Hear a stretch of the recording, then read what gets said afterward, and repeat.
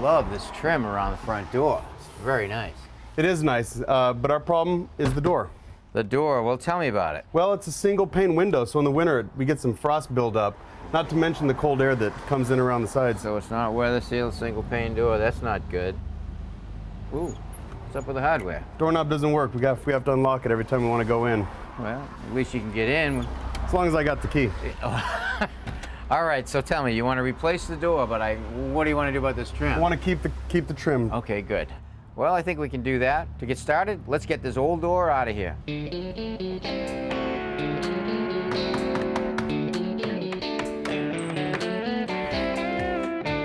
All right, I want to take off the inside casing. First, cut around the outside with a utility knife.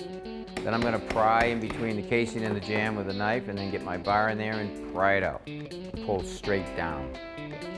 Yeah, get more leverage.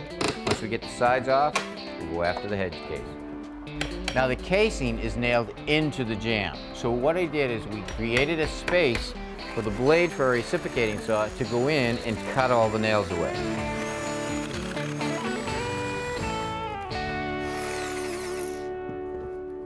All right, Scott, here's your new door. What do you think? Oh, I love it, Tom. This is definitely going to keep the cold air out. Sure is. a big difference of what you've had. But first of all, let me tell you, this is called a pre-hung door, which means it comes in the jamb, it comes with the swing that we ordered, and it comes with the holes already bored for the hardware. And you look around the perimeter of the jamb, there's a weather stripping right here, so when it closes, it will seal nice and tight. And this is insulated glass, which will make a big difference. All right, now this is a wood door. This is a straight grain fir door. It's a good door, but it is wood. So that means you're gonna have to do something. You're gonna have to seal it in some way. You're either gonna have to oil it, you're gonna have to stain it, or you're gonna have to paint it, but you're gonna have to do something. I can take care of that, Tom. All right, great. Well, let's get it in. All right, Scott, we're ready to put your new door into this old opening. First thing I wanna check is your threshold to see if it's level. And it is right on. But Tom, the new door has a threshold. Why are we keeping the old one? Well, the old one is actually in pretty good shape. It's not rotted, so I'm going to keep it. Now it's level, so we can set the aluminum threshold that comes on the door right on top of it. Now the other thing is, is you wanted to keep the old-looking casing and trim look from the outside. So if we had taken this out, there's a couple of things. We would have had to patch this hole, and we need some place for the casing to terminate. It's a lot more work. All right, so we'll leave it. Next thing I want to check is the side casing. You see how that is? And that is plumb. All right, now, we're almost ready to hang the door, but before I do, there's one more thing I want to do. Right here, there's a big void, and that can let in a lot of cold air. So what I want to do is insulate that first. We're using minimally expanding foam designed for windows and doors. All right, now what I did is I put a nice thick bead of caulking on top of the old threshold. So when we tilt the door into it, that'll make a nice air seal and it won't let any of the water blow in. All right, push her in then just a little bit. There you go.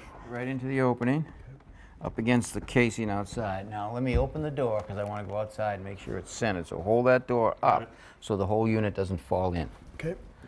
Okay, so all right, it's got to go this way a little. Let me check it for a measurement, see how we're centered. Now I have 5 eighths there. All right, so I got a strong three quarters on this side, so that means the whole jamb has to go to the right just a little bit. Right there, good. And I'm gonna tack it. Okay, good. Now let's check it for plumb. You've got to move the bottom over to my right just a little bit. Okay. All right, that's good right there. And I'm going to tack the bottom.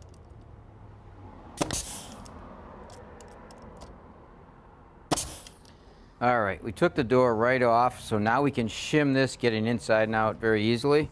And also what I want to do is take this weather stripping out so I can put my screws behind it.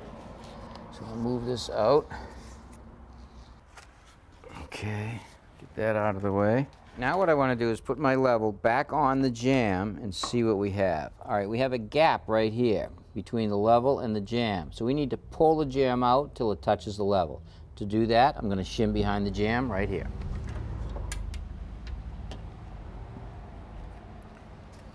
Take a couple of shims, put them together, slide them in deep. Now I'm going to take another shim, spread these apart.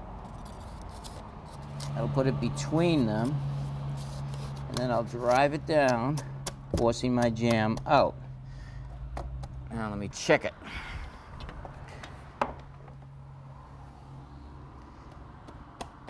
Okay, now that gap is closed right there.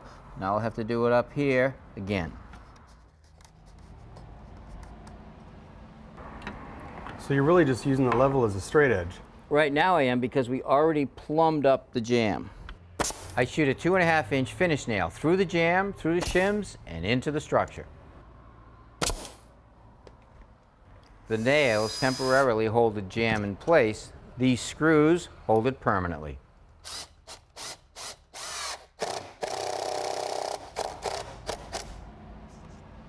All right, now that we put the door back on the hinges and the hinge side of the jamb is plumb and set in place, we now need to shim the striker side. I want to make sure the gap between the jamb and the door is consistent all the way down.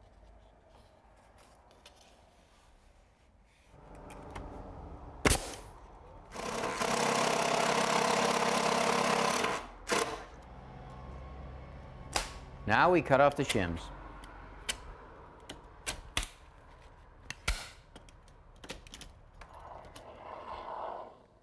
I spray foam up the sides and across the top of the door. Then I fill the big gap at the top of the door with fiberglass insulation. Now I'll just reinstall this weather stripping into this dado right here to seal the edge. And it also hides the screws. We were unable to use the old casing, so we made up some new ones. All right, Scott, your new door is installed. The hardware is in place, and here's the key to your new deadbolt. Now, I don't think you're going to need the key because we have an electronic deadbolt right here, which allows you to program your own code, never needing a key. That is so cool. All right, now, we, still, we also installed a beaded caulking right here where the old meets the new, sealing that gap up. And I think you're going to notice a huge difference this winter.